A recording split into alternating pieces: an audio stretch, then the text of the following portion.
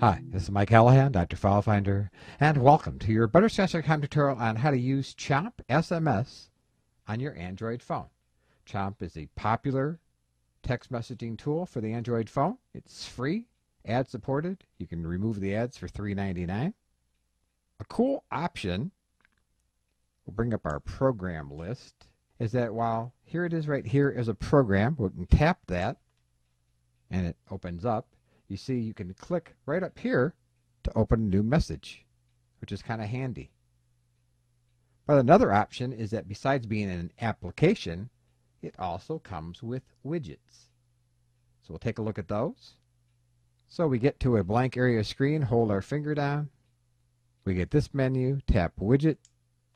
And then down here, you can see Chomp SMS Big and Chomp SMS Icon. I'm going to tap on the icon first. And as the name implies, there's our icon. But if you want to go further, let's hold our finger down again. Get our menu for a widget. Tap widget. Now tap Chomp SMS Big. And this also helps you to see some of the beauty of widgets. Because now, as you get text messages coming in, you can do things with them right from this enlarged dialog. You can delete messages, see all the messages you have coming in, all from this handy window. So Chomp is an excellent program for doing text messages on your Android phone. Once again, it's free. If you don't like ads, you can have them removed for about $4.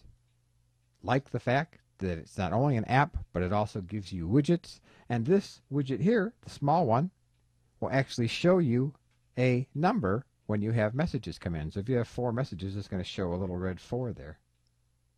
Very slick.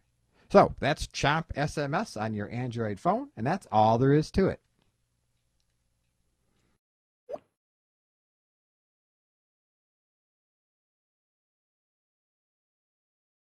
Hey, this is Doc. If you're looking for a cheap and easy way to put your own content on the web, go get domain names from hover.com.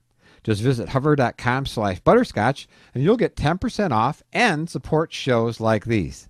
Thanks.